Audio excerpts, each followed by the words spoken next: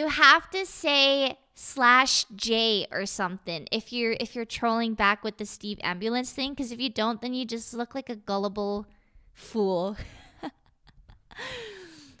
you just look like a gullible fool. Um, exploding sock puppet. Then the two months. Welcome back. And skatebird B. in eleven months. Welcome back.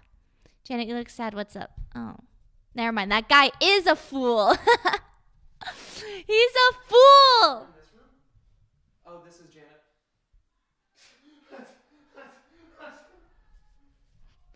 Steve came in my room with a cardboard box. He's like, "This room," and he's like, "Oh, it's Janet," and I just stared at him.